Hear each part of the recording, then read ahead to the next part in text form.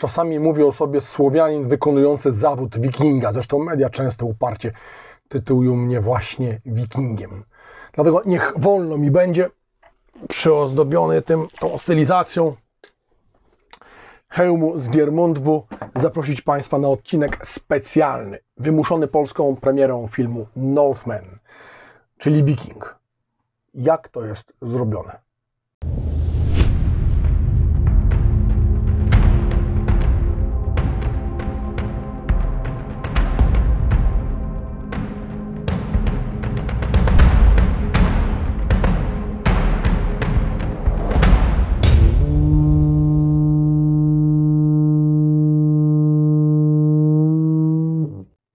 I od razu zepsuję Państwu suspens.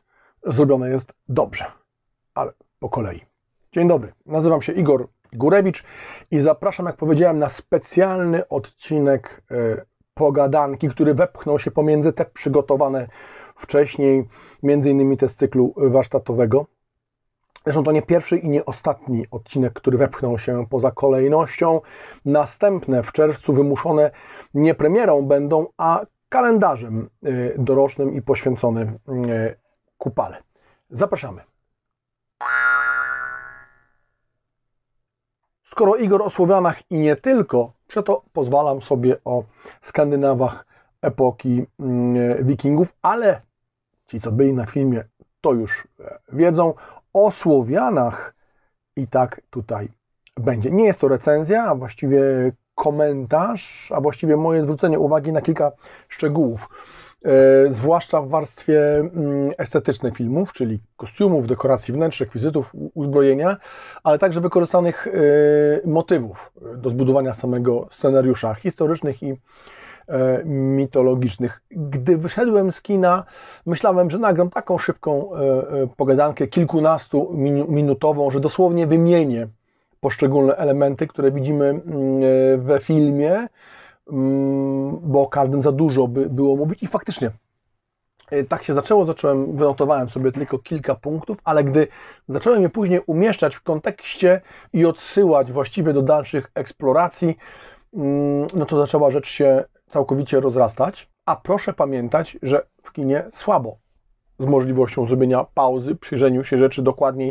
czy cofnięciu obrazu. Więc tylko tyle, ile mi zostało e, w pamięci. Notatki robiłem dzień po obejrzeniu filmu, chyba w niedzielę po premierze piątkowej. Natomiast nagrywam jeszcze tydzień później, tam ze względów na bogaty, niestety, czy stety, e, kalendarz i wiele mm, zajęć. Przeto do dzisiaj pewne rzeczy już mi e, umknęły i nie mogę doczekać się, kiedy będę mógł film obejrzeć po raz kolejny w zaciszu i spokoju domowym.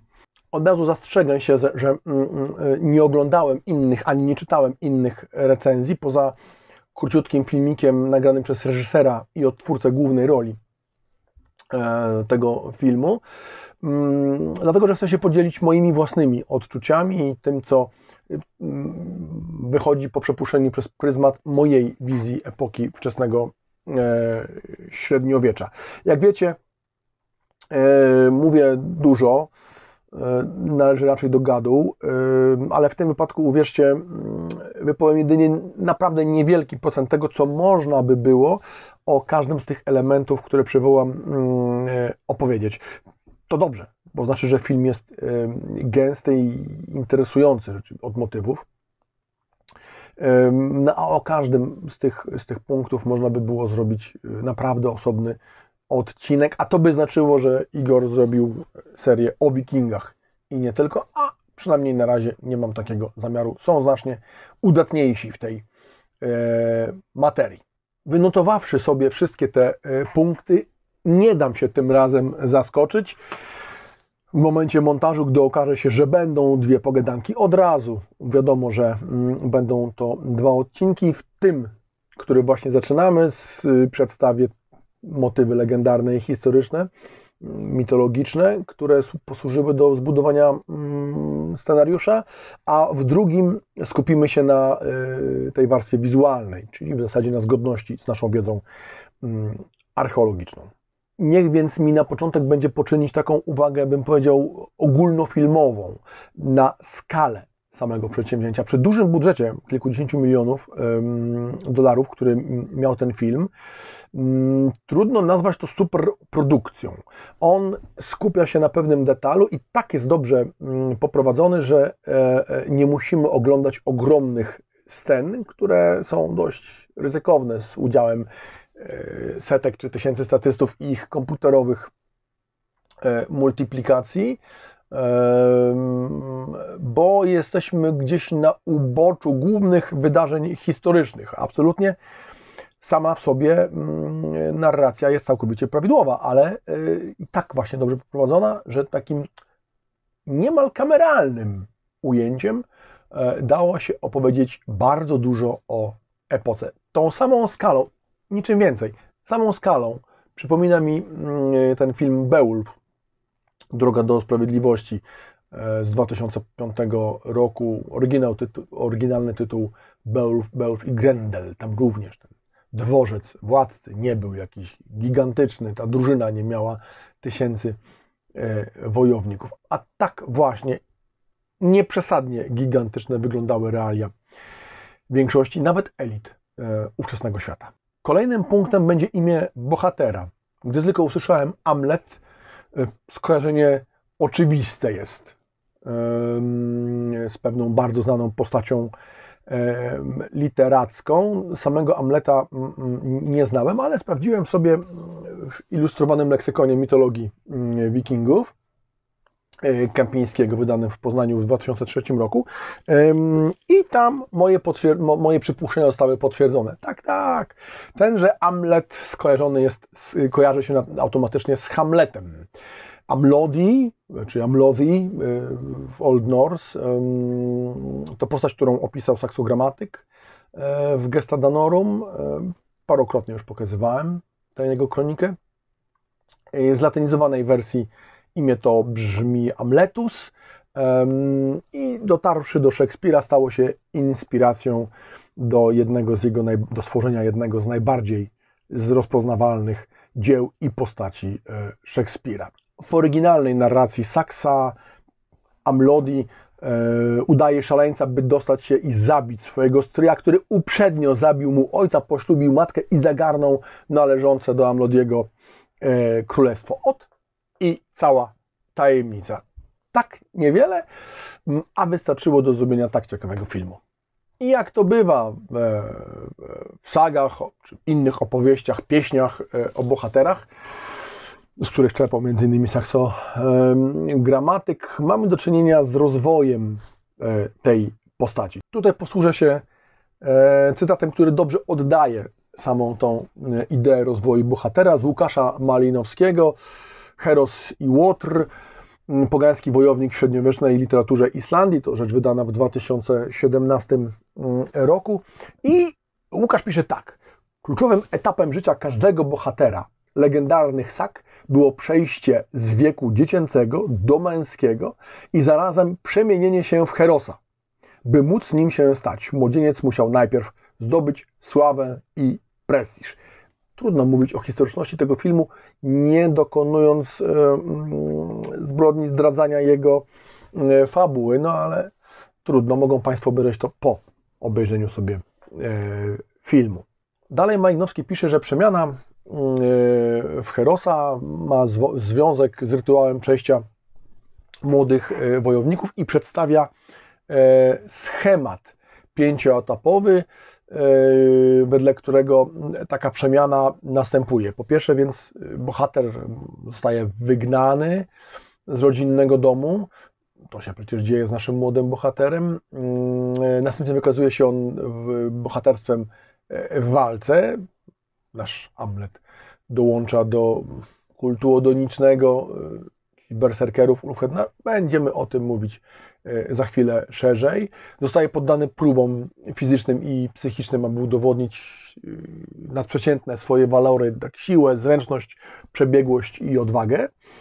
E, natomiast za najważniejszy etap uważa Malinowski walkę z potworem, łotrem lub dzikim zwierzem, z którym on walczy, by chronić społeczeństwo przed siłami chaosu. To może być troll, niedźwiedź, albo pokonanie samego e, berserkera. Tutaj mamy właśnie nieco inaczej, bo Amlet y, no, walczy z kimś, na pewno z Łotrem, bo z kimś, kto sprzeniewierzył się um, więzą krwi. No, niestety ciągle to psucie Państwu mm, zaskoczenia y, i dokonuje zabójstwa jego ojca, a więc łamie wiele praw i to takich fundamentalnych. W końcu zostaje uznany jako heros, wraca w rodzinne strony, kontynuuje podróż lub zakłada własne królestwo. Tak na marginesie, zakładanie własnego królestwa, ale to zupełnie inna historia, kojarzy się z Konanem. To nie znaczy, że autorzy wzięli to z Konana, chociaż tam chyba jakieś inspiracje były, e, tylko że mm, autor e, historii Konanowych również czerpał z tych tradycyjnych mm, źródeł. I wtedy też zostaje ujawniona prawdziwa tożsamość. Tak się dzieje z naszym bohaterem, kiedy on sam wychodzi naprzeciwko Łotrowi i jego e, zgrai, wykrzykuje, e, kim jest, sam się poświęca, zostaje on e, schwytany, a później Odyn mu pomaga, aby mm, Odyn, domyślamy się, z interwencji kruków, które mu tam pomagają się uwolnić, choć film nie ma szczęśliwego zakończenia, kontynuacji, natomiast samego rodu Amleta e, miała miejsce. Bardzo ważną postacią e, we filmie jest matka Amleta, grana przez Nicole Kidman, zresztą bardzo dobrze pasująca do tej e, roli. Mamy powiedziane wyraźnie, że pochodzi ona z Wysp Brytyjskich, co w tych skandynawskich rzeczywistościach jest bardzo realnym. Gdy w 2005 roku z drużyną byliśmy na Islandii, odwiedzaliśmy m.in. Mm, Muzeum Narodowe w Reykjaviku i tam ono, ono prezentuje, przynajmniej prezentowało wówczas, wyniki badań genetycznych e, ludzi zasiedlających Islandię. Ja o tym szeroko stosunkowo o tej podróży artykuł napisałem do Gazety Rycerskiej, a później takiej antologii mojej mieczem pisane od twórcologia, ona jest dawno e, niedostępna w 2013 roku. Wyszedł, wyszło to artykuł w 2006 opublikowany. W każdym razie 80% e, męskiej populacji, no stan badań prezentowany w 2005 roku, to się mogło nieco zmienić, mm, ma pochodzenie nordyckie, natomiast 60% mitochondrialnego DNA, czyli tego przekazywanego wyłącznie po linii e, żeńskiej, pochodziło właśnie z Wysp Brytyjskich. Stąd e, wniosek, że Islandię e, pierwotnie, czyli w tym IX, powiedzmy początku X wieku, zasiedlili skandynawscy osadnicy mającym żony, no, czy jakieś tam inne, w inny sposób związane, związani byli z kobietami z Wysp y, Brytyjskich. Mówiąc obrazowo, jadąc tam po drodze sobie mm, na północnych gdzieś tam Wyspach Brytyjskich te y, iroszkockie partnerki mm, e, dobierała, albo też, i z tym mamy do czynienia w zasadzie w Amlecie, znaczy, przepraszam, w Wikingu, w filmie Wiking, e, już osadnicy sami, ruszając z Norwegii, mieli mieszane nordycko-iroszkockie mm, e, pochodzenie. I żeby zostać wierny temu pewnemu podziałowi tematycznemu, temat Islandii muszę w tym, w tym momencie zawiesić i wrócimy do niego e, w drugim odcinku tej naszej nierecenzji.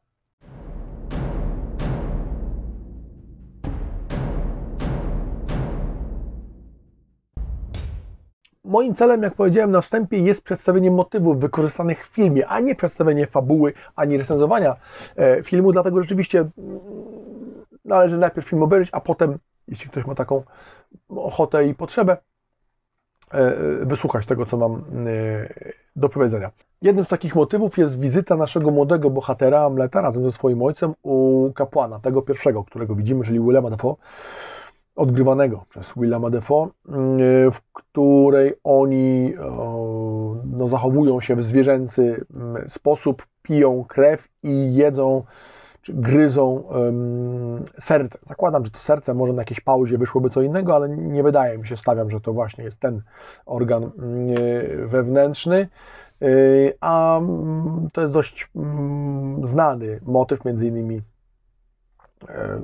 był udziałem najbardziej znanego bohatera germańskiego, czyli Sigurda, kontakt czy spoży, spożywanie krwi jakiejś bestii, czy serca krwi jakiejś bestii, smoka, daje niezwykłe możliwości przejmowane od tej niezwykłej istoty. Tutaj nasi bohaterowie zachowują się jak zwierzęta po to, by no właśnie przejść transformację, zażywszy tych specjałów, e, mieli stać się ludźmi, mężczyznami sensu stricto. Po opuszczeniu przebytku e, tego kapłana, po tym rytuale, ojciec Amleta zostaje e, zabity, a cała ta scena, i tu nie trzeba być wielkim znawcą kina, żeby dopatrzeć się w niej inspiracji z filmu Conan Barbarzyńca z 1982 roku. Pamiętamy tam, jak wjeżdża ze swoim zastępem Tulsa Doom, grany przez fenomenalnego Jamesa Erla e, Jonesa, e, zabija Conanowi ojca, jego porywa w niewolę. Tu mała modyfikacja, a Amletowi udaje się zbiec. I tam między innymi widzimy hełm, który w tej chwili obok mnie e, stoi, a do którego wrócimy w następnej, w następnym odcinku. Kolejnym motywem, na który warto zwrócić uwagę, to scena rytuału inicjacyjnego tej grupy specjalnych e, wojowników, e, berserkerów czy ulfhednarów może e, raczej i tam rzuca się w oczy taka postać tego przywódcy tego odynistycznego kultu. Nie ma wątpliwości, że oparta... Aha, no i właśnie, tu mamy taki charakterystyczny charakterystyczne zjawisko. Gdy ktoś wypowiada się e, e, jakby poziomy zainteresowania, poziomy zapoznania e, tematu. Oczywiście wszyscy pamiętamy ten wadliwy wizerunek wikingów w hełmie z rogami. No, gdy ktoś przeczytał jedną książkę, to wie, że przecież wikingowie nie nosili żadnych rogów na hełmach bojowych. No oczywiście nie nosili, ale gdy ktoś jeszcze głębiej troszkę sięgnie, to okazuje się, że rogate postaci, czy postaci w hełmach rogatych nie są całkowicie wymyślone w przypadku drużynniczej kultury e, germańskiej. Postać bowiem tego e, przywódcy kultu, no, nie mam wątpliwości, że oparta jest na motywu, tak, tak zwanym motywie mm, e, Dancing Mana. On który dosyć długo funkcjonuje, do tego, o tym zaraz powiem. Najbardziej mi on przypomina wizerunek takiego nagiego mężczyzny, udzianego tylko w pas i hełm y, z rogami, ale te rogi zakończone są y, ptasimi głowami, który tańczy wyposażony y, w dwie włócznie, czy też oszczepy. Ich jest kilka takich przedstawień, czy może nawet więcej, ale najbliższy według mnie mm, to jest to na klamrze, to jest y, miedziana, pozłocona klamra pasa z grobu numer 95 e, w e, Fingelsham w Kent w Anglii. Pochodzi z VII wieku i tu pokazuję Wam, o, on tak wygląda.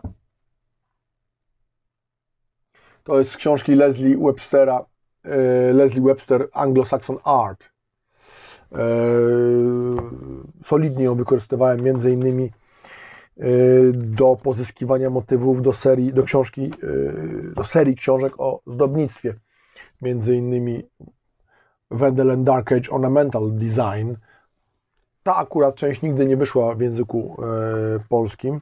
Tu mamy przerys tego, tego motywu, ale i innych roga, wojowników w rogatych hełmach, tańczących, wyposażeni mm, e, we włócznie, chociaż tutaj e, także miecze, tu jeszcze więcej, to są różnie interpretowane są te mm, przedstawienia, właśnie jakiś rytuał przejścia, e, korowód przed bitwą, mniejsza o to inspiracja jest absolutnie czytelna.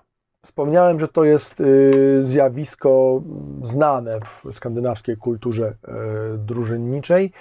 Te przedstawienia, które tu pokazywałem, pochodzą y, między innymi z tak pressblech, czyli takie płytki wyciskane umieszczane na hełmach epoki Wendel. Ja tu przedstawię znane przede wszystkim z grobowców, z grobów na cmentarzach Wendel i Walsgarde, ale także znany bardzo powszechnie Satonhu. Ja mam taką piękną książkę Wodens Warrior, czyli wojownicy Wodana, Warrior and Warfare in 6th and 7th century Northern Europe, czyli wojownicy i sztuka wojenna w Europie północnej VI-VII wieku, autorstwa Paula Mortimera, samego odtwórcy. I tutaj są repliki hełmów, zresztą wykonane w Polsce przez Grzegorza Kuliga, pseudonim Torkil. I zobaczcie, jak te hełmy pięknie wyglądają. Nie dość, że one same są dziełami sztuki, to jeszcze właśnie przedstawiają te sceny wojowników w rogatych hełmach. Do tej symboliki odwołali się twórcy filmu i bardzo słusznie. Władysław Duczko w swojej książce Ruś Wikingów, wydanej już jakiś czas temu, bo w 2006 pisze tak.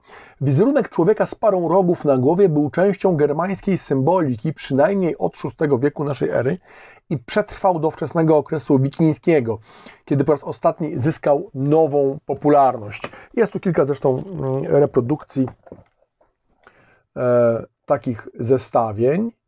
Podobnie zresztą jak w takiej e, e, książce The Ram, Mount, czyli okucie z Ramstone.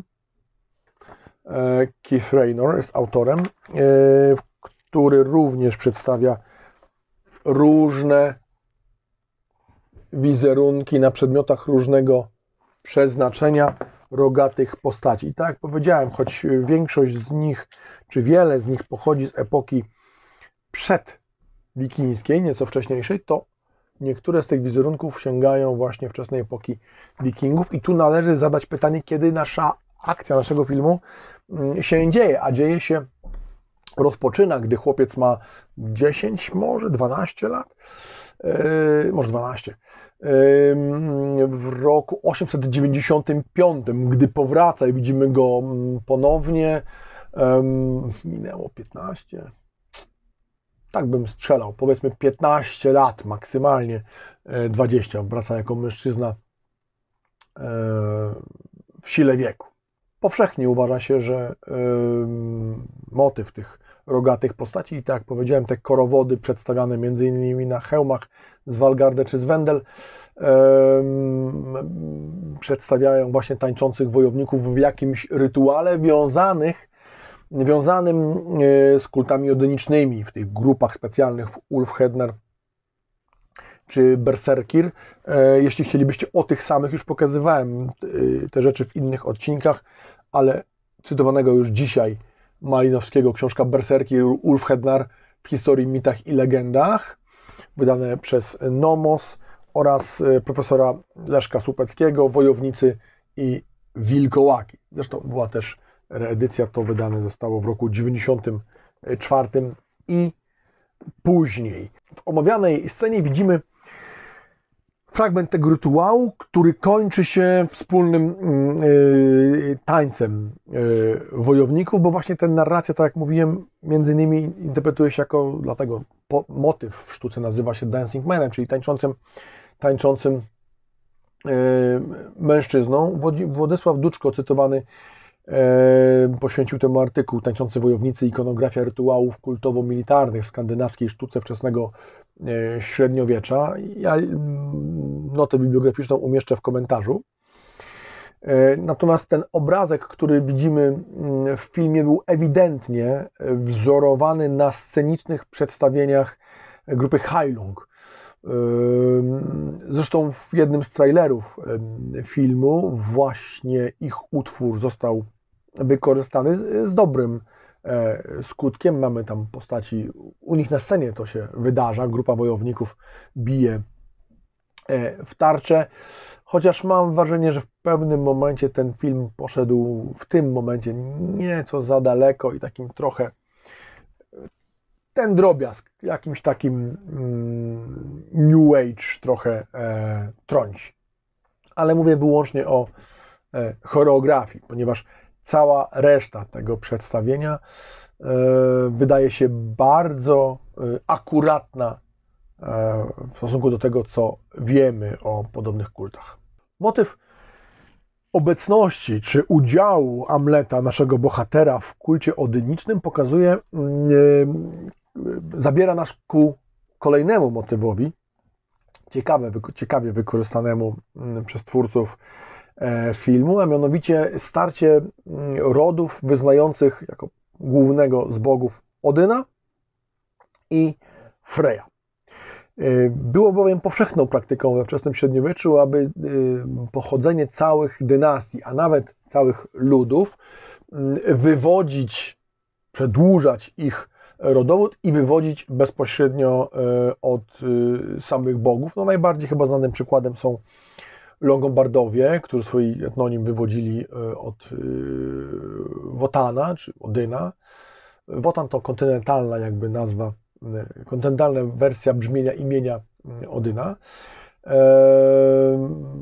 który to został nadany temu ludowi w wyniku pewnego zabiegu, podstępu w wykonaniu Frey, która przyczyniła się do nadania Longobardom długie brody, takiego, a nie innego imienia, a że nadanie imienia to prerogatywa ojca, więc nazywając niechcący Longobardów Longobardami, Odyn jakby ich um, usynawiał, żeby nie powiedzieć współcześnie e, adoptował. Zresztą także wedle anglosaskiej e, tradycji bracia, które prowadzili Anglów do Brytanii, to te starcia w epoce króla Artura i nieco e, późniejsze, Anglowie, Sasi i Jutowie, e, to ci bracia byli e, synami Wotana.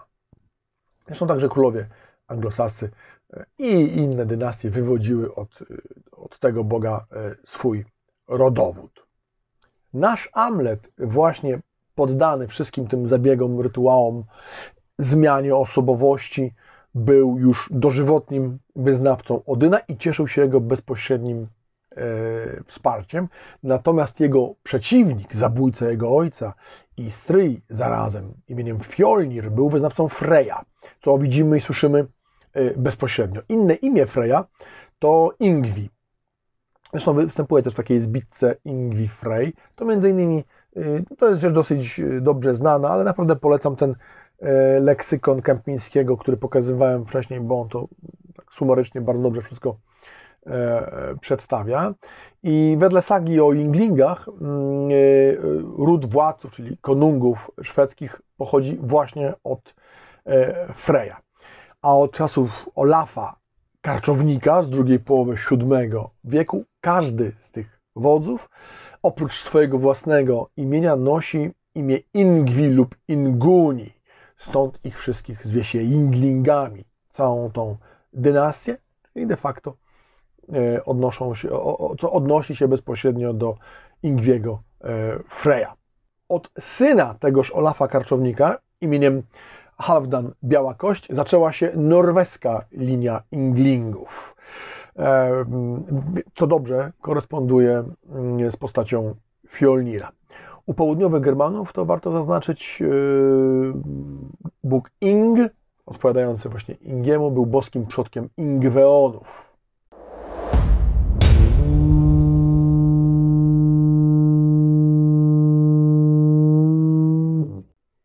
Omawiany film jest pełen w ogóle rytuałów, e, bym go nazwał wręcz zapisem etnograficznym, rytuałów, obrzędów, ceremonii i kilku specjalistów rytualnych, jak to się czasami fachowo określa, najogólniej, choć nie do końca trafnie nazwanych kapłanami.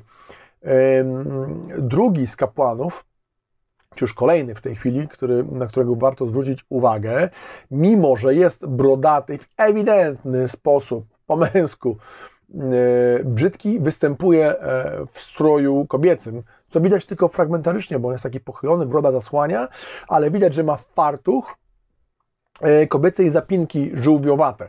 Widziałem gdzieś na internetach, na portalach społecznościowych podśmiewywanie się, że czegoś tam znowu twórcy filmu nie doczytali, doczytali, szanowni państwo, i to doczytali znacznie więcej niż ci, którzy się z tego nabijają. Do samych zapinek, zresztą, a już teraz powiem, to są zapinki autorstwa Grzesia Pilarczyka z filmu Pilar Art, bo to będzie w drugiej części. Tam bardzo dużo polskich różnego rodzaju wyrobów występuje i chwała nam, polskim odtwórcom i Wam, polskim rzemieślnikom e, za to, a Państwa zachęcam do zapoznania się z pracami tych artystów tworzących na potrzeby odtwórstwa historycznego. E, wracając do e, kapłana. Już Tacyt, a pod koniec I wieku naszej ery, zostawił taki oto zapis u Nahan, w swojej Germanii. U, Nahanarwa, Nahanarwalów wskazuje się Gaj, który jest siedzibą dawnego kultu. Przewodniczy mu kapłan w niewieścim stroju. Mężczyzna ubrany w kobiecy e, strój. Ja sam takie obrzędy prezentowałem w kontekście kultury e, tej e, germańskiej, barbarzyńskiej. Takie inscenizacje obrzędowe w stroju, w kobiecej sukni. Tylko nie zapinki żółwiowate, tylko kuszowate, bo to inna inna epoka. Sam w taki strój kobiecy wskakiwałem i obrzędy rekonstruowałem, prezentowałem e, publiczności. W tym miejscu oczywiście literatura będzie bardzo bogata, mm, ale najlepiej odwołać się do Mircea Eliadego, e, Mefistofeles i Androgin, czyli właściwie cała rzecz. Wydań było kilka, ja mam akurat z 99 roku. Wydań kilka w języku polskim oczywiście. E, ten rumuński religioznawca, mitoznawca to absolutna, absolutny gigant. E, a cała ta pozycja poświęcona jest właśnie temu motywowi tej, e, tego bycia na styku płci.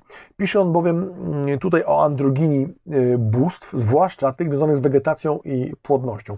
Przywołuje już ucztę Platona, w której pierwszy człowiek jest przedstawiony jako kulista, dwupłciowa istota. E, przypomina, że Dionizos był postacią dwupłciową, ktoś nawet tam woła, gdy Dionizos przychodzi w którejś tam z historyjek o, o męż, mężo kobieto, czy kobieto, męż,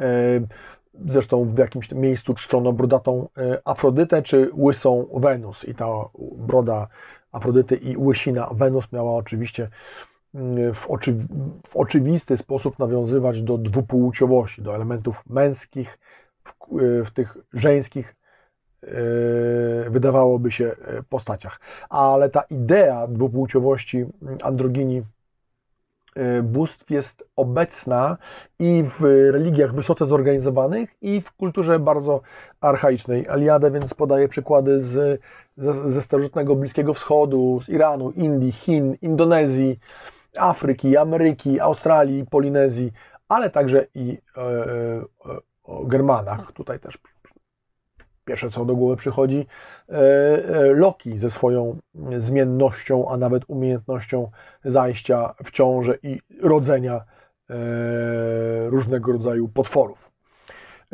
Opiera się ta myśl na idei, że doskonałość, byt per se, byt sam sobie, opierać się musi na jedno pełni.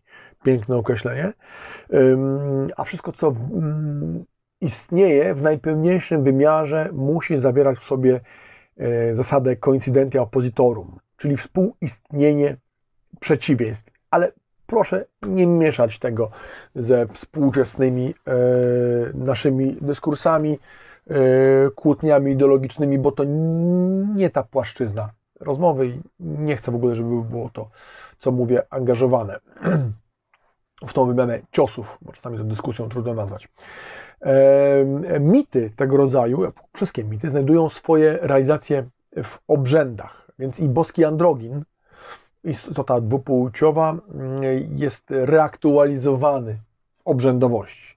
A obrzędowy transwestytyzm, czyli przebieranie się w strój drugiej płci, E, przy obrzędach inicjacyjnych też miał swoje miejsce. Chłopcy ubierali się za dziewczęta, dziewczęta, dziewczęta e, za chłopców.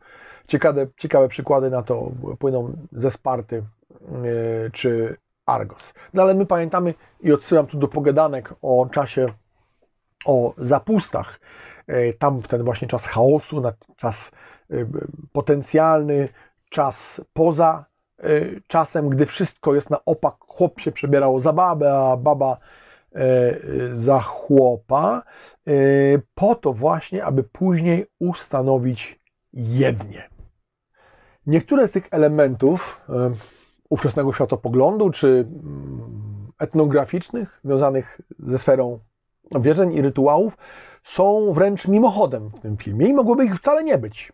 I pewnie mniej wprawne oko nawet ich, nawet ich nie dostrzeże.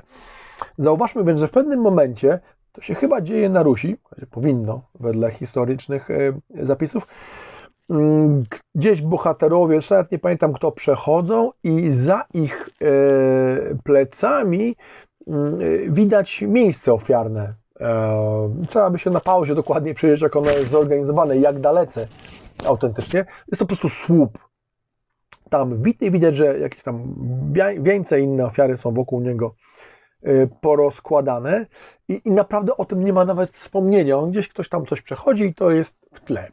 A za tym to jest ogromny ukłon w stronę y, źródeł mm, historycznych i Yy, jestem przekonany, że za, że za tym, właściwie jednym zdjęciem stoi, jego, inspiracją dla niego był zapis Ibn Fadlana, który obserwował Rusów w 1921 roku.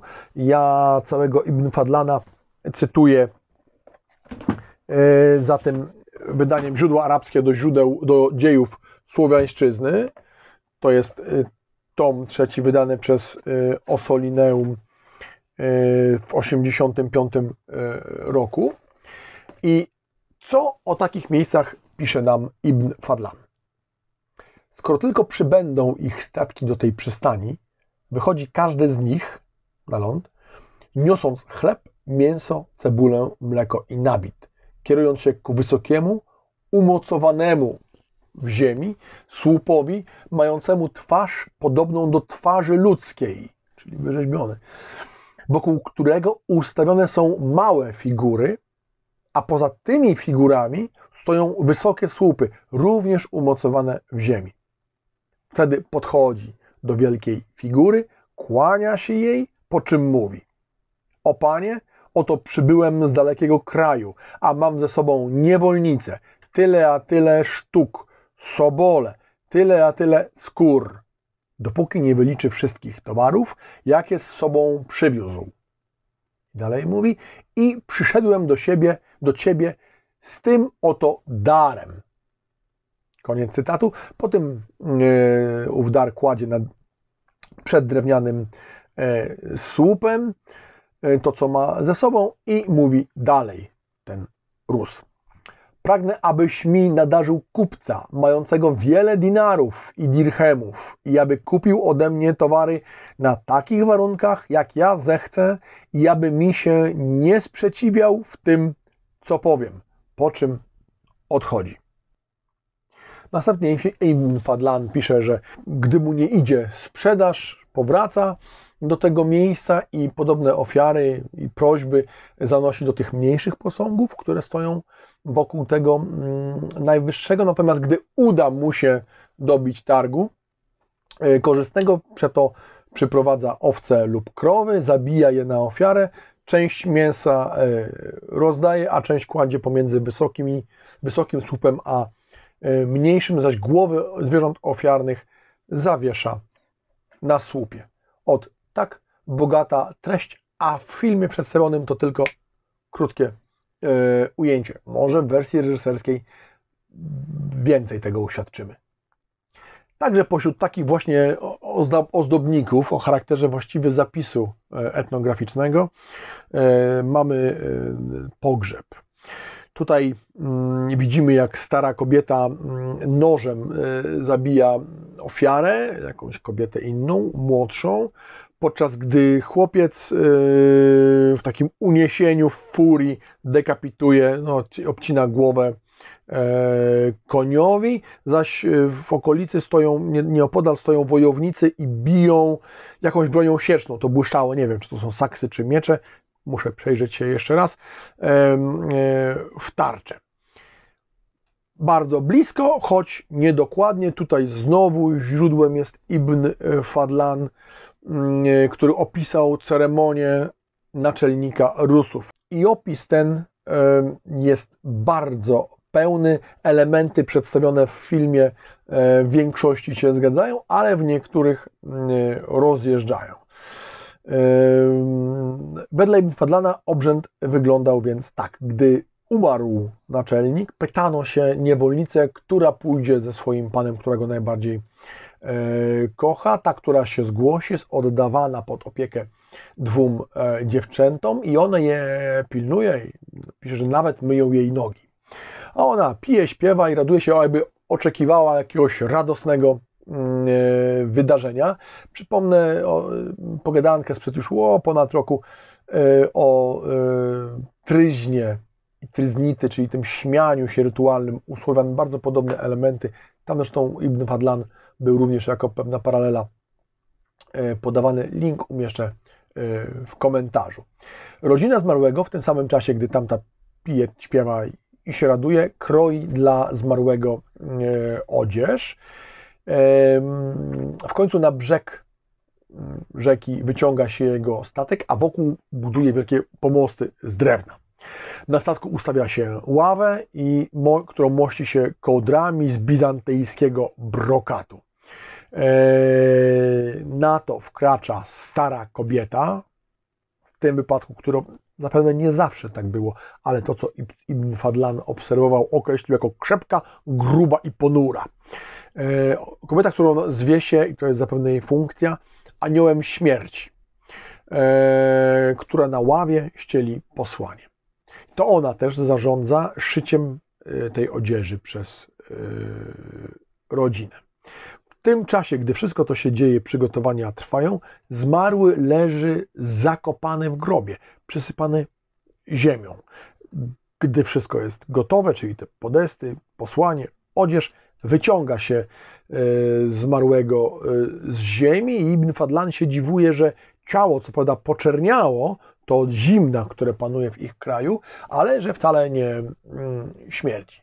Ubierają go więc szarawary, nogawice, buty, kaftan, czapkę, wszystko bardzo bogato ozdobione, to w końcu wódz. E, sadzają go na tej kołdrze, o której mówi, mówiłem, i podpierają poduszkami.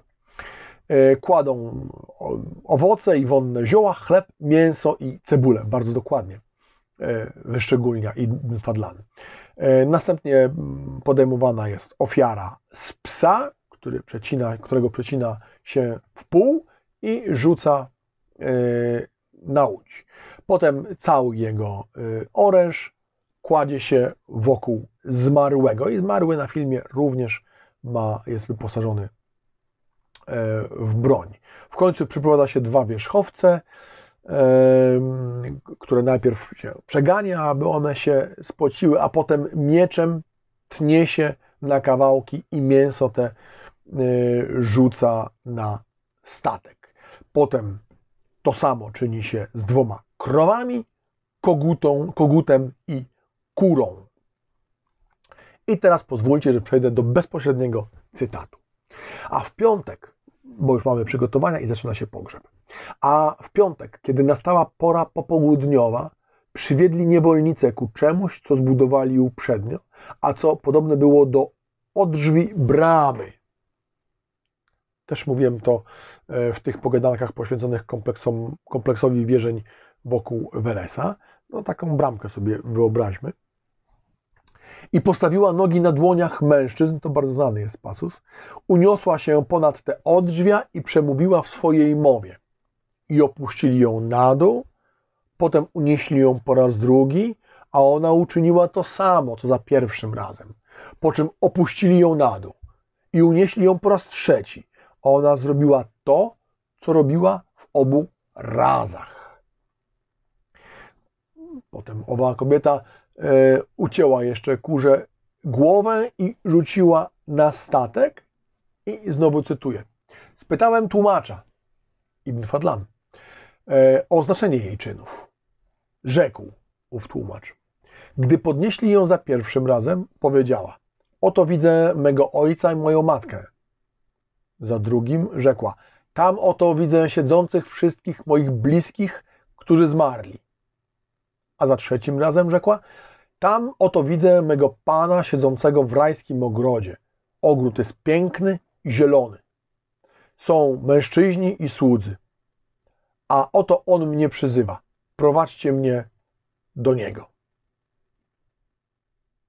Ten motyw potrójnego wyniesienia, zaglądania przez tę konstrukcję w zaświaty, przez bramę, dosyć czytelny to znak na drugą stronę i potrójne mm, jest bardzo często publikowany, wykorzystywany, więc sądzę, że to nie jest e, dla Państwa zaskoczeniem.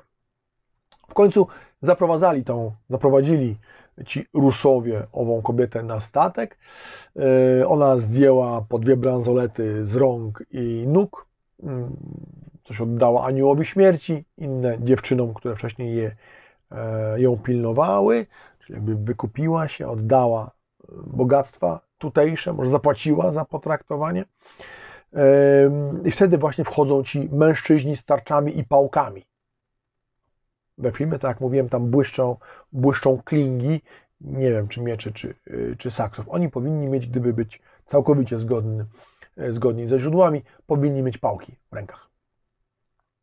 Podali jej wówczas specjalny napój, a ona zaśpiewała i wypiła. Ten napój spowodowało, że była oszołomiona w sposób widoczny. Wtedy miała wejść do szałasu, który ustawiony był mm, e, na statku. I tutaj widzicie zdjęcia, które wykonałem podczas jednej, którejś tam z wizyt e, w Muzeum Łodzi mm, Wikingów w Oslo, na wyspie Bygdoj dokładnie. E, czyli tu mamy świetny, świetny motyw, że mm, choć z IX wieku pochodzi ta łódź, zapis z wieku X zwyczaj trwał, łódź z Norwegii, zapis od Rusów. Natomiast widać tutaj material, materialne potwierdzenie narracji historycznych. To, jak mówiłem kilkukrotnie w różnych pogadankach, to dla mnie i pewnie dla wszystkich badaczy i fascynatów e, sytuacja jest e, wyjątkowo ekskluzywna. Daje potwierdzenie pełne pewnych obyczajów. Więc do takiego szałasu e, miała e, wejść, a właściwie wahała się w pewnym momencie i ten anioł śmierci, ta kobieta, E, może dlatego ponura, chwyciła ją za głowę i e, wciągnęła do środka. Mężczyźni, ci uzbrojeni w pałki i tarcze, bili, więc e, czynili hałas, bijąc tymi pałkami w tarcze, aby zagłuszyć krzyki, które mogłyby wystraszyć inne niewolnice i one w efekcie tego później za swoimi panami nie chcieliby pójść. Mimo więc oszołomienia było zagrożenie, że owa niewolnica, dobrowolna ofiara, zacznie jednak w tym momencie krzyczeć. krzyczeć. Za niewolnicą i aniołem śmierci weszło sześciu z mężczyzn do tego szałasu yy, i każdy z nią spółkował tą niewolnicą, e, nie z aniołem śmierci. Potem ułożyli ją mm, już obok swojego zmarłego pana. Dwóch trzymało ją za ręce, dwóch za nogi. Niech dzieci w tym momencie już wcześniej powinny wyłączyć. Dwóch trzymało ją za ręce, dwóch za nogi. Anioł śmierci założył jej na szyję linę, podał dwój, dwóm kolejnym mężczyznom. Tak wszyscy, cała szóstka z nich była, wcześniejszych gwałcicieli, była zaangażowana w, w ten ryt nieprzyjemny. E, I wtedy anioł śmierci zadawał nożem ciosy pomiędzy żebra tejże ofierze, ofierze podczas gdy Y, dwóch mężczyzn y, ciągnęło za sznur, dusząc. To jest motyw zabicia ofiary, przejścia przez śmierć kilkukrotną, a więc w różnych sferach. Już trochę o tym mówiłem, będę jeszcze o tym mówił przy innej okazji. Tu właśnie jeden z kolejnych motywów, o którym mówiłem, że osobną pogadankę. To jest tylko fragment jednego motywu, który osobno jest motywem i można by długo o tym mówić. Złożono więc ofiarę. Na to wszedł e, jeden z krewnych zmarłego, całkowicie nagi. To też znany motyw też ze sztuk plastycznych. E, szedł z pochodnią w jednym ręku, a drugą ręką zasłaniał swój odbyt mm, i szedł tyłem, karkiem zwróconym do statku, twarzą do zebranych.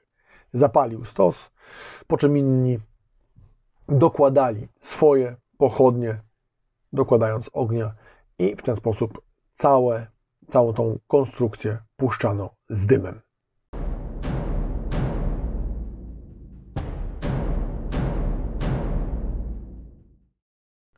Osobnych kilka słów chciałbym poświęcić właściwie nie motywowi, ale pewnemu wrażeniu, które odnosi się po obejrzeniu filmu, a mowa jest o przedstawieniu roli kobiet.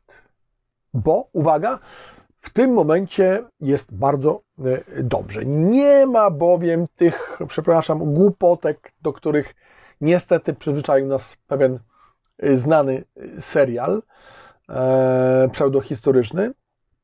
Mm, no i współczesna narracja, która ze względów pozamerytorycznych uwypukla rolę kobiet w wojskowości wczesnośredniowiecznej, mm, co czyni właściwie na szkodę obrazowi. Po pierwsze, łatwo to jest y, merytorycznie obalić, a po drugie, czyni na szkodę mm, rzeczywistej władzy, czy rzeczywistej roli, które kobiety miały w życiu, y, czy, czy w tych sferach duchowych, czy właśnie bezpośredniego nawet mm, y, rządzenia, czyli tych sferach, które jakby motywowały chociażby tą sferę militarną, tam gdzie rzeczywista władza no, przez większość czasu, ale chyba do dzisiaj to właśnie ideologia czy, czy, czy, czy, czy yy, warstwa wierzeniowa yy, motywowała albo była wykorzystywana do motywowania działań yy, militarnych. Czymże innym jest kult odeniczny właśnie Ulfhednarów czy E, berserkerów. Ale wracamy e, do kobiet. Media też przyzwyczaiły nas e, niestety do podchwytywania i brzydkiego manipulowania ustaleniami badaczy, wyolbrzymiając pewne twierdzenia, rozmawiając z kilkoma, którzy później, badaczami, którzy później załamani byli, co też media wyprawiają z, z ich, z ich ustaleniami. I wychodzą takie smaczki jak doniesienia dużych światowych mediów, że połowa armii wikingów mm, składała się z kobiet, dlatego że na jakimś cmentarzysku połowa szkieletów przy łodzi była e, kobieca. E, o kobietach w kontekście broni składanej do grobów przez lata pisał Leszek Gardeła, e, między innymi Znacie go z książki wydawnictwa Triglav Magia kobiety i śmierć w świecie wikingów. On w ogóle szereg artykułów poświęcił, analizując między innymi właśnie dary grobowe, uświadamiając, e, znaczy popularyzując obecną w, anglosaskim, w anglosaskiej nauce e, jakby odejście od postrzegania grobów jako zwierciadła życia, że przedmiot składany do grobu nabiera innej wartości niż ma jej za życia. Tutaj jest symbolika czasami zresztą o, o, zmien, o zmienionej e, wartości. Między innymi na Islandii e, Leszek Gardeła brał udział w takim e, dużym grancie, no w ogóle w krajach skandynawskich dobrze jest rozeznany i rozpoznawalny. Podsumowaniem tych badań jest też jego książka całkiem niedawna E, e, Women and Weapons in the Viking World, Amazons of the North, czyli kobiety i broń w świecie wikingów, Amazonki e, północy. Tu pokazuje, ale też w wcześniejszych swoich tekstach, no dla polskojęzycznych odsyłam koniecznie do tej, do tej książki naszej, wydawnictwa Triglav, że nie wszystko złoto, co się świeci, a dokładnie nie wszystko broń co jest w grobie i broń przypomina niektóre z tych elementów, to ewidentne, ewidentne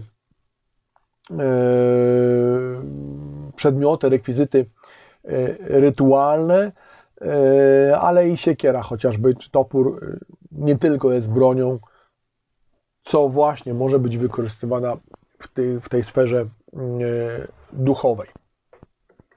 W filmie natomiast mamy bardzo silną kobietę. Ona nie musi walczyć. Główna bohaterka, odtwarzana, matka Amleta, odtwarzana przez świetną Nicole Kidman, jak uważam, i właściwie ona jest całym spiritus movens, jak się okazuje tu znowu. Psuję Państwu e, zaskoczenie, ale zakładam, że obejrzeliście już film. E, wydaje się, że to ten jego e, Fjolnir, czyli brat ojca jest ten złym, a okazuje się, że to ona, nie żadna porwana wbrew woli, ale to ona nakłaniała swojego szwagra do zabójstwa męża, a jego brata, mając ku temu własne e, motywacje. Zresztą motywy te, o tym by trzeba osobną, ale to już raczej dla kogoś, kto zajmuje się Skandynawami, motyw kobiet wymuszających pomstę, e, wywarcie wróżby, czyli tej rodowej zemsty, przyczyniające się do wielopokoleniowych walk. To jest motyw częsty w źródłach historycznych. I w ten sposób e, wydaje mi się, że autorzy zbliżyli się e, znacznie e, bardziej do realnego odzorowania roli kobiet we wczesnym średniowieczu, także w społeczeństwie skandynawskim, które słynęło jednak z bardzo silnej pozycji kobiet. W pewien sposób też taka uwaga bardziej współczesna, w pewien sposób mi to przypomina ten żeński zakon z, z Duny Herberta e, Bene Gesserit, które miały niezwykłe przecież zdolności z tym takim najbardziej znaną modulacją czy modyfikacją swojego głosu, dzięki któremu mogły wpływać na zachowanie czy poddawać własnej woli ludzi, którzy słyszeli ich głos. No, to wydaje mi się bezpośrednie zaczerpnięcie, bo taką właśnie rolę często przyjmowały e, kobiety.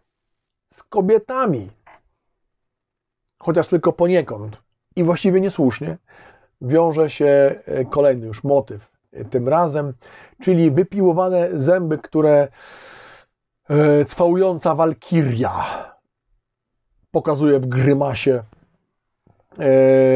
nawet na plakatach, a w każdym razie na zdjęciach promujących film, co stało się e, przyczyną żartów e, znowu mniej poinformowanej części publiczności, zarzucającej albo nabijającej się wysoki poziom ortodoncji, że Walkiria ma aparacik na zębach. Na marginesie znamy różnego, ale z Egiptu, czy w ogóle z kultur starożytnych mostki druciane, także z tymi zębami to bywało różnie. Oczywiście nie we wczesnośredniowiecznej Europie, jeśli chodzi o ortodoncję. Natomiast tu nie mamy do czynienia z ortodoncją, ale z pewnym zabiegiem intencjonalnym. Ja, jak wiecie, takie wypiłowania na zębach mam, wypiłowania i barwienia. Noszę to od ładnych, ładnych już kilku lat. Właściwie nawet nie pamiętam. Chyba 2016. Mogę się mylić. I z tego co wiem, jestem jedynym na świecie odtwórcą historycznym noszącym e, takie modyfikacje e, zębów. Nie mówię o jakichś subkulturach fanów tatuażu czy modyfikacji ciała, ale wśród odtwórców historycznych celowo w nawiązaniu do tej e, praktyki. Ja między innymi tutaj będę się posługiwał artykułem Matthiasa Toplaka, to niemiecki archeolog, w tej chwili są znajomy, odtwórca historyczny też, w tej chwili dyrektor muzeum w Haitabu, więc bardzo ważnej, jednej z najważniejszych, najważniejszych mm, e, pamiątek po epoce e, wikingów. On taki e, artykuł napisał już ładnych parę lat temu, bo w 2015 roku. Prawn Burials and Modified Teeth and the Viking Age. I dalej chodzi o cmentarz w Koparsvik, E, na e, Gotlandii i to zostało umieszczone w Analekta Archeologika e, Resowienza, tom 10 pod tytułem Rituals in the Past, wydane w Rzeszowie w 2015 roku. On tu pewną teorię wygłosił. Dzisiaj nie, nie wiadomo, czy możliwą do utrzymania. On w tym artykule, to jest w ogóle część jego większej e, pracy, analizuje cmentarzysko w Koparsvik, to jest największe e, na Gotlandii z epoki wikingów, e, datowane między 900 a 1050, czyli stosunkowo szeroko. A same modyfikacje zębów były znane bardzo wielu kulturom, ale do tych z Koparsvik i do pewnych odkryć z Lund nie były znane z terenu Europy. E, okazuje się bowiem, że a w tej chwili już znamy około 130 przypadków podobnych modyfikacji, że są one udziałem mężczyzn i w zasadzie wyłącznie mężczyzn, stąd ta walkiria, nie wiem czy koniecznie postać kobiecą, chociaż mitologiczną, trzeba było wyposażyć w ten atrybut, E, to już może akurat taki trochę mm, e, łyżka dziegciu do tego miodu, co mówiłem wcześniej, do tego miodu odnośnie wizerunku e, kobiet. Mężczyźni w wieku 20 do 40 lat, jak donoszą statystyczne ustalenia, i w większości jednak mający lat, mający lat 20 do 30. Y, jest taki jeszcze artykuł, ja dam na dole jego mm, dokładną notę bibliograficzną, analizę Hułowinen z Uniwersytetu w Kalifornii y, w Berkeley. The Vikings, Stories Told in Their Teeth, czyli Wikingowie, historia powiedziana w ich zębach. To jest artykuł z 2020, a więc uwzględniające ustalenia y, i teorie Toplaka, ale także późniejsze różne opracowania. Warto sobie do tego zajrzeć. Powiedziałem, że to są właściwie wyłącznie mężczyźni. Zdane są bowiem dwa przykłady z Danii, ale nie ma pewności na zębach kobiecych, ale nie ma pewności, czy w tym wypadku są to intencjonalne modyfikacje, czy też efekt używania zębów jako tak zwanego y, trzeciej ręki, albo po prostu narzędzia. Od Inuitów między innymi jest to dobrze obserwowane, e, że, gdzie zęby używa się przy obróbce ścięgien, co pozostawia na nich, na zębach, odpowiednie pe, pewne e, e, no, znaki. W przypadku tych męskich zębów, tak jak powiedziałem, około 130, właściwie nie ma wątpliwości, tam się kąt nacięcia, głębokość analizuje. W niektórych wypadkach jest, są też ślady barwnika, czyli tak jak u mnie, i najczęściej są to horyzontalne, czasami na jednym, czasami na dwóch, czasami na czterech y, zębach, nie zawsze tak równo, niektóre są nawet w kratkę gdzieś tam robione, tylko na boku zęba. Nie do końca wiadomo też, y, co one znaczą. Jest znany, ja mam tutaj album będący katalogiem wystawy The Vikings, która mm, e, była prezentowana w Kopenhadze, e, w Kopenhadze, w Berlinie i Londynie. Myśmy mieli okazję w Berlinie ją bardzo dokładnie sobie oglądać. I tu macie takie oto zęby. Właśnie, o, jak to wygląda na oryginałach. W tym wypadku to są yy, właśnie z Koparsvik na Gotlandii. Wyprowadzono kilka teorii e, na temat e, znaczenia mm, tego zwyczaju. E, pierwszą, która się pojawiła, było związanie z elitą wojowniczą. Jak donosi sam Toplak, właściwie bardzo słabe mają być przesłanki, aby można było podtrzymać związek tej modyfikacji e, bezpośrednio ze sferą wojowniczości, czy wojowników, e, warstwą to tych elitarnych, bo tylko dwa ślady archeologiczne bezpośrednio się z nimi łączą. Między innymi jeden z młodych e, mężczyzn pochowanych w Birce ma taką modyfikację. Po drugie, masowy grup z Weymouth w Dorset w południowej Anglii. Tam są ślady dekapitacji, ewidentnie ofiary walki lub zabójstwa e, są e, złożone. I jak pisze w 2015 e, roku, twarde dowody przeczą, że mamy do czynienia ze znakiem militarnej elity. jednym z powodów jest także, że zęby te są mało, wedle toplaka, mało widoczne e, na pierwszy rzut oka. Spotkałem, mm, tak jak mówiłem, no jakoś tam się znamy ze środowiska odtwórczego mm, na pewnym festiwalu. Poprosił mnie o zdjęcie, bo chciałby porównać, jak to wygląda, czy tam wąsy, czy nie wąsy. Ja akurat wąsów nie, nie noszę, ale gwarantuję Państwu, zresztą sami widzicie, ludzie mówią w różny sposób. Natomiast nie jest to znak ukryty. O nie. Jest on bardzo dobrze widoczny. Ja zwykłem mówić, że mm, wiem, jak to jest, e, gdy kobiety mają dekolt i rozmówca traci e, kontakt e, z naszymi oczyma, bo patrzy nieco niżej. W moim wypadku też widzę, gdy rozmówca zaskoczony pierwszy raz dostrzega mm, moje zęby. Więc to dobrze widać, co prawda, tak jak powiedziałem, wąsów nie noszę, ale pamiętajmy też sobie, nie wyobrażajmy jakiegoś takiego y, y, jaskiniowca, bo przecież y, Skandynawowie epoki wikingów akurat o zarost bardzo dbali, przycinali, więc ten argument musi niestety wypaść. Stwierdził Toplak, że słusznie, że znane przypadki grupują się wokół bardzo ważnych miejsc handlowych, jak Birka, Sigtuna, właśnie Kopersvik, e, czy wokół e, Trelleborga mm, e, w Skanii i miałaby to być, miałby to być obyczaj, znak zamkniętej grupy mm, kupców, wzorem późniejszych gildii, którzy w ten sposób mieliby się potajemnie rozpoznawać. Także ten artykuł, także ten artykuł z 20 roku uważa ten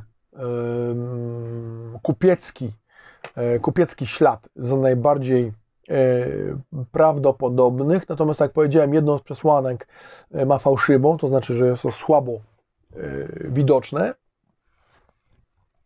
Powtórę, zęby tych ludzi są w całkiem dobrym stanie, a przy ówczesnym E, tryby życia, choć oczywiście my to e, no, w inny sposób, korzeniami jakimiś tam. E, zresztą jedna z teorii mówiła, że to jest ślad po czyszczeniu zębów, tylko rzeczywiście jak się podnosi, nie tylko mężczyźni czyścili kobiety, więc dystrybucja tych, tego rodzaju znaków byłaby znacznie szersza. W każdym razie mm, są one dobrze widoczne, a po drugie w, tamtym, w tamtej epoce byłyby raczej powodowałyby szybkie zepsucie klawiatury, mówiąc e, żartobliwie. Mm, no i jeszcze kwestia bólu. Jest osobny artykuł e, poświęcony temu, czy to bolało. E, chyba osobną, chociaż krótką rozmowę, czy pogadankę o tym kiedyś Państwu zaprezentuję, więc na tym, na, na, na tym, do tego się ograniczę. Kolejną próbą interpretacji było powiązanie tego znaku z niewolnikami. No, co też jak to zwykle ci sobie poinformowani, to czasami jest tak, ktoś napisze jeden artykuł i już się wszyscy śmieją, znaczy, nie wszyscy, ale część już się śmieje, ha, ha, ha, nie wie, nosi znak niewolnika.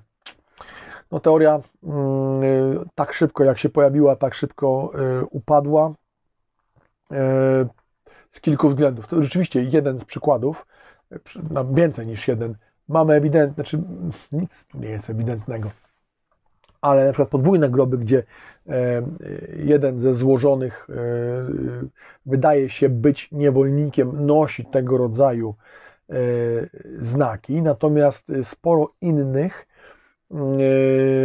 nosicieli tej modyfikacji wyposażana jest grobowo mm, całkiem a nawet bardzo bogato wśród darów, bowiem są i miecz, jest i miecz, i tarcza, i włócznia, strzały, a w jednym przynajmniej wypadku nawet ofiara e, z konia.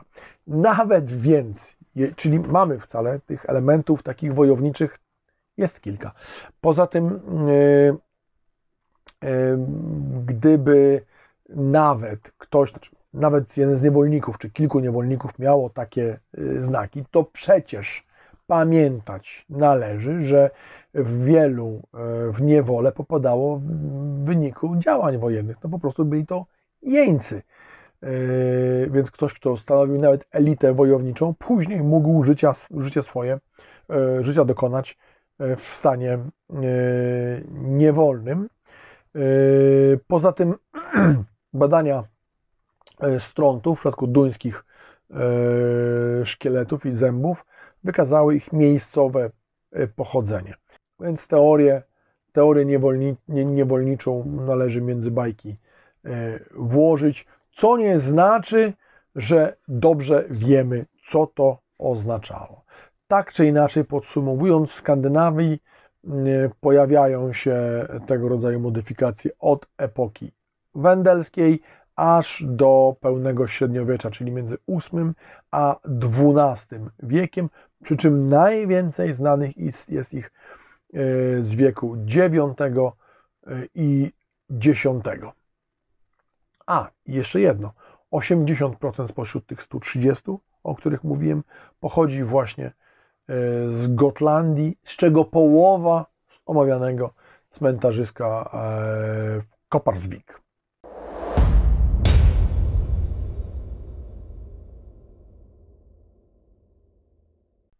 Zmierzając ku końcowi, dwie krótkie uwagi. Jedno może pytanie. Mamy w dwóch momentach e, łodzie, które wyprawiają się w daleką podróż. Jedną, gdy bohater z Rusi ma się zamiar dostać na Islandię. Oczywiście zakładamy etapowo, no nie o tym jest film, abyśmy jego drogę pokazywali, by to musiałby zająć połowę filmu albo lepiej. A drugi, gdy wyprawia on swoją, sam się dostaje na łódź, i, a w efekcie jego ukochana Olga w ciąży ma dostać się e, z Islandii na Orkady, czyli z Rusi na Islandię, a druga załoga i druga łódź z e, Islandii na Orkady. W obu wypadkach mamy więc do czynienia z żeglugą w ogóle atlantycką. I wydaje mi się, co by nie mówić, że te załogi na, na te jednostki takie nieco szkieletowe, wiem, to jest czepianie się, musiałby się Jerry, a nie, jakoś niego nie pomyślałem, pomyślałem, nie chciało mi się dzwonić do Jerego i dopytywać e, o to, czy nie uważa, że taka załoga szkieletowa, tam bym powiedział, jest ich czterech czy pięciu na tak poważne przedsięwzięcie, to nie jest e, niedopatrzenie. Nawet jeśli, to obyśmy takich niedopatrzeń w filmach historycznych tylko e, mogli się spodziewać, bo to naprawdę szczegół. I na zakończenie tego odcinka jeden z kończących scen samego filmu, czyli walka pomiędzy mm, antagonistami Fjolnirem i Amletem e, u bram, jak się umówili, u bram Hel, czyli jednej z krain zaświatowych e, w eschatologii e, wierzeń skandynawskich epoki E, wikingów i ten obraz rzeczywiście przypomina e, obrazy e, piekielne, na tle ognia, postaci bardzo mocno przyciemnione, nago. To bardzo ciekawe. Pokazali, że walczą rytualnie nago, świetny motyw, a żeby nie epatować nagością przed tym cieniem zagrano tak, że, że nie widać na szczęście zbyt wiele, ale trudno też nie dostrzec, przynajmniej mi się tak skojarzyło i ciekawe, że dokładnie te same E, te same odczucia miała e, moja żona, że przyjmują ci wojownicy i te obrazy, ale i kolorystyka e, przypominają wazy greckie. Właściwie czerwo, czarnofigurowe. E, ten kontrast tej, tej czerwieni, pomarańczu e, z czernią i takie charakterystyczne pozy. Oni wyglądają, plus właśnie ta nagość e, ciał, na bardzo umiejętnie to, że są nazy, to jest świetne, bo to pewien rytual, rytualność pojedynku pokazuje, ale e, gra cieniem, poczernienie tych postaci pyłami jakiegoś wulkanu mm, no, powoduje, że nie, nie ma epatowania golizną, e, przy czym jak najbardziej uzasadnioną, tak jak powiedziałem tutaj, ale te pozycje, które oni przyjmują, bardzo przypominają Y, wazy greckie bardziej niż, wydaje mi się, ilustracje e, z epoki wczesnego średniowiecza. Cóż, trudno też nie dostrzec tu chyba czytelnych. Albo takie niedopatrzenie w to, nie wąt- w to, w to wątpię, więc raczej fascynację, pewien może jeszcze ukłon ku Gwiezdnym Wojnom, a dokładnie trzeciej części e, Zemsta Sithów i pojedynku e, Obi-Wana z Anakinem na wulkanicznej planecie Mustafar, no w wyniku czego już Anakin przestaje być Anakinem, a za chwilę stanie się Vaderem. Czy trzeba koniecznie w tym miejscu analizować sam pojedynek? Za mało widziałem, za bardzo byłem pochłonięty całym wrażeniem, żebym mógł e, e, ruch po ruchu analizować, ale rzecz tyleż mitologiczna, co bardzo plastyczna i, i, i wydawała się bardzo przekonująca. Znaleźliśmy się u końca tej części. Znaleźliśmy się u tematu walki na miecze w tym wypadku i od miecza w powiązaniach e, mitologicznych zaczniemy kolejny e, odcinek, a potem polecimy, polecimy już konotacjami archeologicznymi, czyli wszystkim tym, co udało mi się dostrzec i zapamiętać z oglądu filmu Northman, czyli po polsku Viking. A teraz już Państwu dziękuję serdecznie. Zapraszam na odcinek za dwa tygodnie i wdzięczny oczywiście jestem za polubienia, czyli lajki. Ci, którzy jeszcze nie zasubskrybowali, to zachęcam, aby to zrobili, zapisali się, by nie przegapić kolejnych odcinków, w czym pomoże także już po zasubskrybowaniu naciśnięcie guziczka ze znakiem dzwonka, bo w ten sposób przypomnienie Państwu po prostu przyjdzie, gdy kolejny film zostanie opublikowany. Teraz już dziękuję. Do zobaczenia. Cześć.